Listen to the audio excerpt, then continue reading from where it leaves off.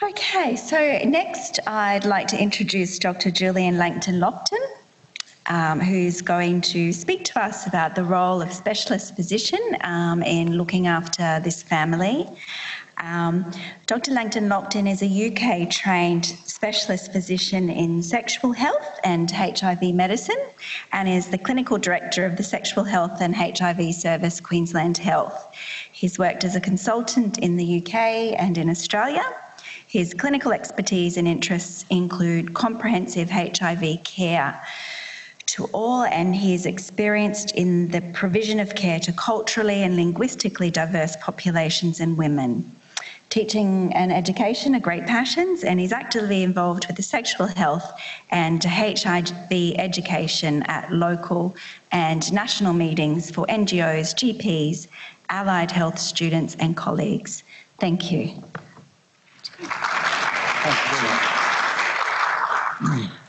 Well, thank you. It's a great honour to be here tonight, and uh, uh, it's uh, thank you for uh, spending a bit of time um, to hear the fantastic speakers we've heard so far with Samira and Maria, and then we've got Jackie and we've got Margaret. And what I'll try not to do is duplicate some of the stuff and all the hard work that's going into it. Um, my background really is I came into HIV uh, medicine um, very much because uh, I was absolutely fascinated by who was affected by HIV and uh, and the impact and it also it's a it's a multi-system infection. But at the end of the day it is just a virus and how you deal and treat and discuss and build someone's confidence with that virus uh, and also, in the time I've been working in the last two decades, we've seen an absolute transformation in not only the um, technology and the medicine, but also really in reducing what is a, a, word which you've heard throughout the uh, day, which is uh, stigma. And stigma is a very big part of living with HIV, irrespective of, of your background, cultures, and beliefs. And, and you know, one of the things which I always say when I first meet someone is, you know, I sometimes it takes me 15 minutes, 20 minutes, or even half an hour before I even discuss HIV. And it's really sort of discussing what is really important to that person, you know, understanding why they're here, and just asking about the family, kids, asking about aspirations, schools, you know, all these kind of things. And you actually kind of find out that, and you can assess in that time how much the impact of HIV is, because some people will talk about everything else but. And coming from the UK is actually a very interesting experience because a lot of my HIV care has been in really uh, culturally diverse uh, communities. And when I used to work in London, uh, I worked in East London. I had a very big practice. I worked in a busy uh, sexual health and HIV centre, and I'm, and I'm primarily a HIV physician, uh, and I've got infectious diseases uh, training as well. And um, it, in, within my centre, I was looking after, I was, as the lead consultant for HIV, I was looking after over a thousand people who were living with HIV, of which 70% of those came from Africa, of which 70% of those were women. And so it was really interesting because, you know, I had a lot of people who were getting pregnant, but a lot of cultures, and we had over 54 African countries represented just in my clinic. And one of the uh, things that was very interesting, you'd quite often have family members where there would be a husband and wife and a child who wouldn't discuss, who had never discussed about their HIV which was uh, which is which is really difficult, and and so you you never saw the family together, and you couldn't really sort of depend on, and they had no support because no one ever talked about HIV. We also had uh, a, in the clinic we had two middle-aged sisters who were from uh, East Africa who who were, were had been coming to the clinic for about 10 years uh, had spent most of their life in a refugee camp in Kenya and they'd been in the UK for about, I think, about 13 years. However, they used to come to the clinic separately because they'd never talked about their HIV. And so they were absolutely convinced that they, that, and that, that they did that, that they were the only people who knew about it. And once uh, I remember one of the sisters got ill and, and her sister visited her in hospital. And when I came in to see her, um, she turned around and greeted me and the sister went, how do you know him? So, you know, very interesting. But but working with that and, and bringing that support is absolutely vitally important. So, um, so as everyone has said today, there's so much, and when you've got someone like who's just arrived in Australia, has um, had a really tough life, has got a lot of dependent uh, children. She's got a partner who is still overseas. And then suddenly uh, there's a whole group of people um, prying into your business and wanting to know and offering care some people really pull back and say, you know, actually, I've been doing quite well for myself up to now. You know, why is everyone getting involved? So being linked into HIV care as, as within the Australian system. So uh, the Sexual Health and HIV Centre at uh, Metro North, we're a sexual health uh, specialist. We have ID specialists there as well. And I think one of the most important thing is that we have no barriers to care and there is no cost to the patients at any point of that care. And we will, and we work very well with the, uh, with, with, as Jackie said, with the public health unit, work very well with non-government organisations, and we also uh, ensure that it's not just about the HIV, because if you are HIV positive and you don't have Medicare, it might be all the other things that you need to worry about, your heart disease, your hepatitis, your liver, and other health issues, um, and it's really trying to ensure that you get that equity of care. So Okay, so we get referred from many different uh, uh, avenues, and and uh, so quite a lot of people are here on uh, skilled visas, and they're applying to stay as permanent residents, and they get their testing, and they find they're HIV positive. Um, you get other people who've come through the pathways which have been, been described here, and there's also people who have been uh, awarded visas overseas before they come.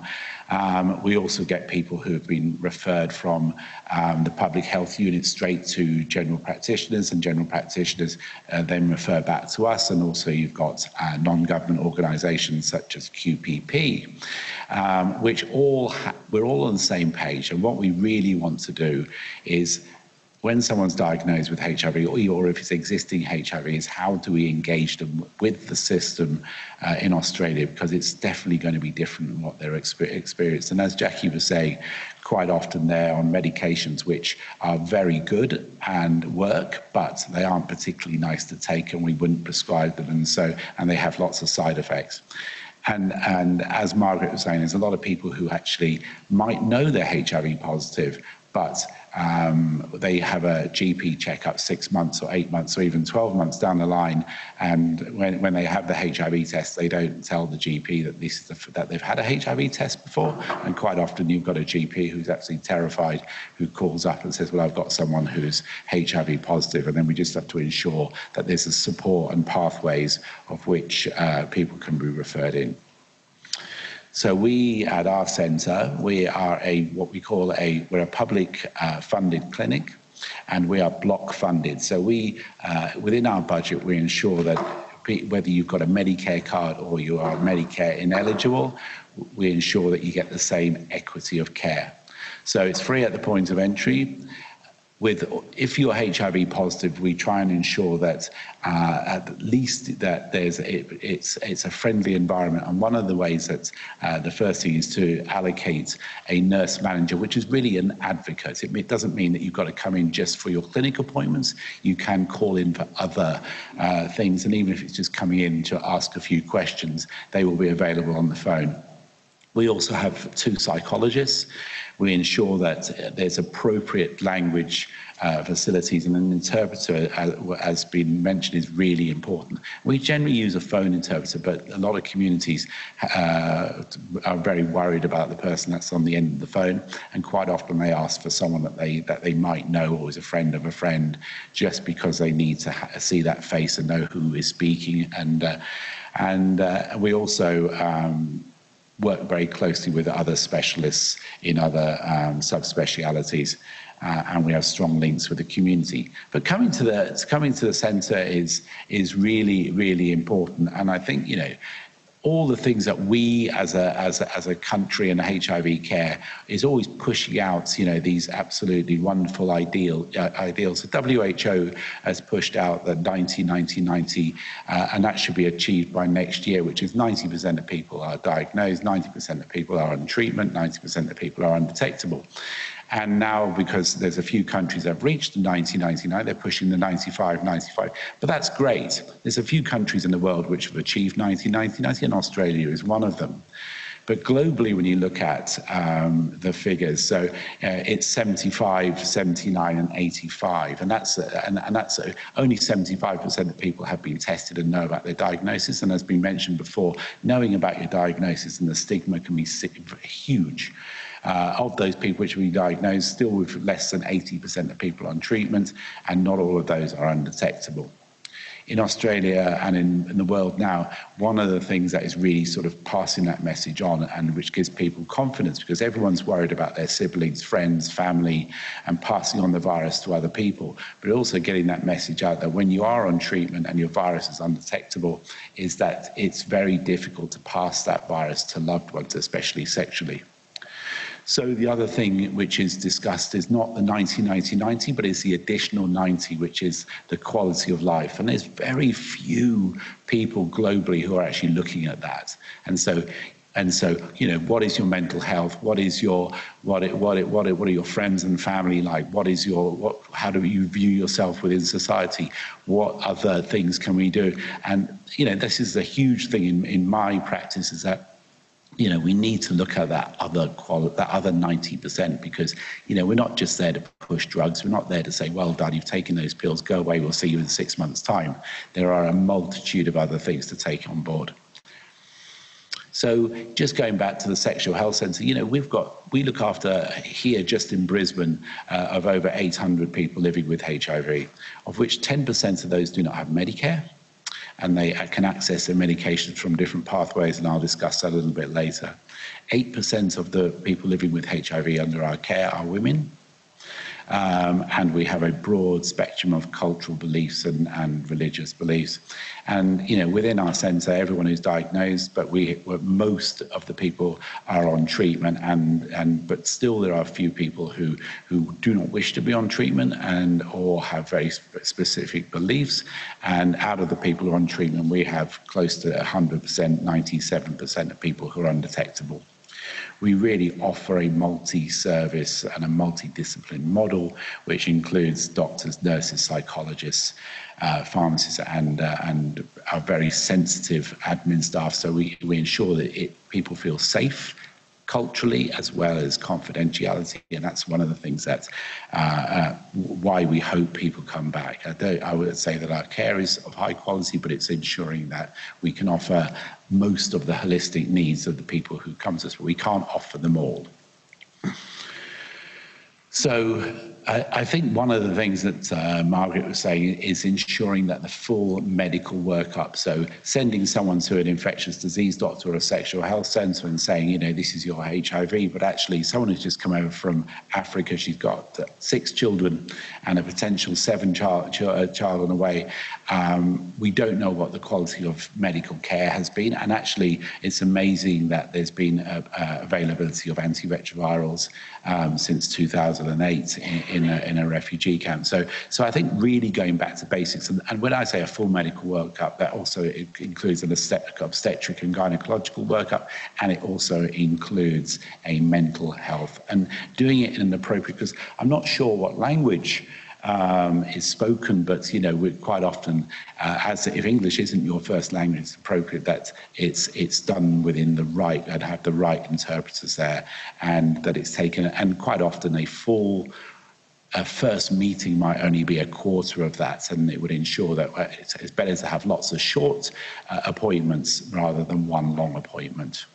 So TB, of course, highly, a third of the world's population uh, has got latent TB. There are other opportunistic infections there's been no mention of where uh, the, where an immune system is at this present moment, because even being on antiretrovirals doesn't mean that, uh, that this person is immune, fully immune. Um, and, uh, and again, with sexual partners, you know, it's a big secret. We don't know what's happened to them, whether there's been um, sexual abuse and trauma. We, and culturally, it's, it's a very difficult thing but it's very important that you do discuss these factors and that uh, the family is really important. And this lady has six dependents, dependent children, and she will be having another child in, in uh, four months' time. So, so that engagement with care is really got to be patient focused. It's got to be taken at a, at a pace which ensures that you get the right engagement, you get that confidence, and if you don't get that confidence and you don't ensure that, you know, that, that, that you've got that person's interests, it doesn't matter how how much uh, you try and do, you're not going to help that person assimilate to a new country because looking at this lady, she has a lot of things on her plate. And I think that if I was this person, I would be more worried about all these people I've never met before, even with their good intentions, thrusting their ideas and thoughts and, and what they should be doing. And I would actually probably like the person who would say, well, why did we've told you this much today? Here's, here's, come back and see us in two weeks' time. And if you've got any questions, we'll ask some questions there. Um, so I think, you know, there's a lot of, of, of things, that's my perspective.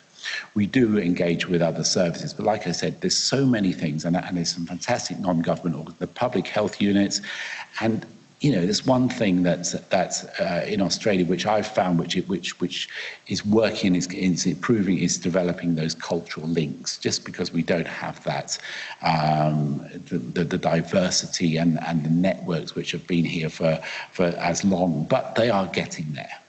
And I think, you know, one of the things that I often say to someone who's living with HIV is that, you know, it, it doesn't matter where you picked up that virus or who gave that virus to you. But look at the responsibilities that you, you know you've got, and especially someone like this who's got a, a, a big family, she's got the added um, uh, worries of having her oldest son who's HIV positive as well. But there's but one of the things is that you know you are you know you've just got to pat yourself on the back. Look how well you've done, and we will help and build your confidence up from there. No one on the outside knows, so and you don't need to tell anybody. Um, and then finding a GP, and as as you know, and that's a really difficult because as soon as you mention the word HIV, you've got the most fantastic doctor who's who's look after every single ailment and illness. But you mention G, uh, HIV, and someone goes back to medical school mentality and says, "Well, I can't deal with that." And but actually, and so it's sitting down uh, with the GPs and finding a GP or GPs already and working out how you can work out a good you know, joint care, ensuring that they feel comfortable with them, and that actually, um, if there's any questions, just call call us on the phone. So you know, it, it, it's we don't want people coming to a to a to a building in a, in a, unless they if they're happy going to their GP, then that will make us happy as well. There's a lot of things which we're looking at, and I won't go over those, but one of the things is pregnancy, of course, and that's really important. And there, and there is a lot of misconceptions about HIV and pregnancy. But not only that, there has been recently some some some questions uh, on research about some of the new HIV drugs which aren't safe in pregnancy and might cause problems uh, with neural tube defects. That's starting to go away again now, but but it's it's very important that when you are talking about HIV, you talk about the medications, but you also talk about the medications that are appropriate for that person and why you want them to be on those medications. We also people who are new in the country sometimes end up in correctional services. And uh, also there is uh, lots of co-medications.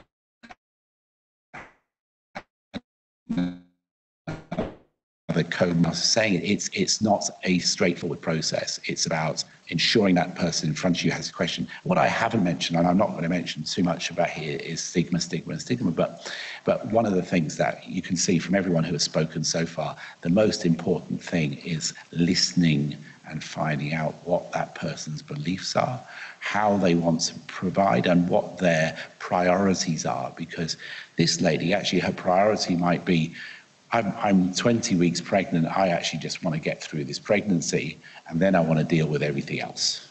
I want the kids are in the country now, I want to get them into school.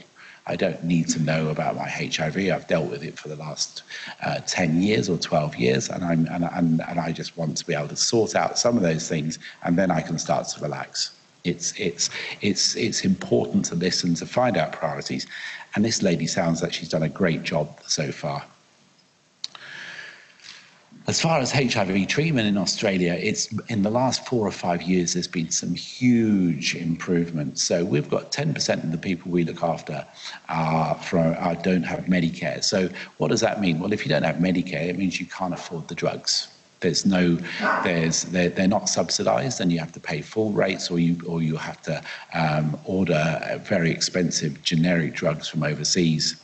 And you know what? That's not going to be any good. But in the last four or five years, two of the big drug pharmaceutical companies have been have have come up with compassionate access programs. And what that means at the end of the day is that if you've got someone new in the country and they've been diagnosed, and the likelihood is that they're going to stay in Australia, then you can apply for them to go on to first line antiretroviral medication, which which which in Australia that really is the best medication becomes first line medication very, very quickly if it's got through TGA and it's got onto PBS. And so, so uh, out of the uh, out of the 80 people we have who don't have medication, 65 of those people are, are, are receiving their medications through compassionate access programs. That that happens very quickly. So, and especially as someone like this who's probably on a, on a, on a combination which isn't particularly up to date and has got side effects, we could have this person uh, on on what we will classify, which is what, usually one pill a day. And where the HIV drugs are is in the last three three years, they can't make a better HIV drug. So what the companies have been doing in the last three years is actually tweaking to make it more user friendly, less drug drug interactions, and and actually um, makes it easier for someone to take them without restrictions to food, doesn't affect your cholesterol, doesn't kill your kidneys. Um, so all those things are, are, are, fantastic. So that's one of the things, sitting down with someone and saying, look, you know, yes, you have been on this medication, but actually you can be on this medication. It's not going to cost you anything. Um, but again, if someone's been taking medication for 12 years, even if it's been giving them lots of side effects, that can be quite a difficult challenge. Um, the generic, uh, there are generics, and some people opt to still import drugs from their own country. But nobody who passes through uh, one of the public funded clinics can, will walk away without giving the option. They will be, have the opportunities to be put onto uh, antiretroviral and it's and it's usually the best that we've got just because we take that person. When I'm prescribing I like to prescribe not for next week not for two weeks away but at least for the next five years. And that's taken on board with you know other medications at the GP or other comorbidities especially hepatitis B. As I said uh, for the ongoing care with us having a nurse manager for the first year to 12 months is really important. Linking people in with QPP, and I think Tico is going to give us a, an update uh, in a while, and making sure that um, people feel comfortable and make sure that they're either, uh, and it's an NGO which fits the needs of, of of the people who are in front of you. There are other community services, and I said, you know, for all of you here tonight, and you can see what the wonderful job uh, that there are and who's around having the right interpreter, ensuring that people are comfortable. We bring people back a lot in the first 12 months, and I think that doesn't hurt anybody, but we, but we do take it at that person's pace. And, what I, and my usual words to someone is, I'm here to offer you advice and not tell you what to do. Um, and as we mentioned, we do have people who um, have been in Australia for a few years and maybe go back to visit family and friends, um, and all common sense goes out the window. So the availability of PrEP really ensures that um, people don't come back with a surprise. And it is complex management when you look at this, because this is someone who's new to the system. I think that, you know, with, with children uh, involved, uh, the, the family definitely takes a huge priority. I'm working very closely with um, the children's units. And one of the things that we've developed in the last couple of years is ensuring that children who are HIV positive have the opportunity trans- when they transition to adult uh, medicine that they get the opportunity to do that in a very seamless way. And quite often we invi- inv- invite the, their guardians or their family to be part of that process. Um, there are acute services if something else happens because it's not just about HIV, it can be about people's hearts, kidneys, liver, mental health. There's QPP who offer a very um, encompassing peer navigation which gives people the opportunity to, to, to, to discuss their concerns uh, and living with HIV with people with the same experience. We ensure that there's always an interpreter present. There's compassionate access to ensure that people get good, clean antiretrovirals. We have psychology who run clinics every day. Um, we have pharmacists on site who can sit down and really explain why we're taking those pills, why it's better to take it now, and why it's better to um, to not uh, take it with uh, a glass of milk, or why you shouldn't be taking it in the morning. We do ensure that uh, that as, as, that no none of the patients belong to any of the doctors or nurses and ensure that we with anyone that's new to the service we we, we have a, a discussion about and then we have a weekly case conference and that's a multidisciplinary and we discuss about many factors and the and with this new person and what and how we are providing that service and what needs they might be. And actually it's a, it's a it's a very rewarding meeting and I think we um, from this meeting, uh, it, it, allows a, a tailored care plan for that person who's new to the service. There are S100 prescribers in the community, and um, and in Brisbane there's uh, at least uh, 12 people who are S100 prescribers, um, and it's up to the choice of the patient. And we and and we make people aware that there are that there are GPs and there are that they can get their care, and they don't have to come to a big, um, ugly building to get their care. It's up to them and uh, and you know with uh, and it's important that we are linked in. So we do there are immigration we do linking with immigration lawyers and experts and we work very closely with uh, an organization in Sydney called HALC which is a HIV and AIDS legal um, council councils and uh, it's really important that when people are having problems with immigration that they're linked in with the right people so it's all about collaborative care. It's all about the person in front of you. It's making that adjustment. It's not just about the diagnosis of HIV. It's not about throwing pills at anybody.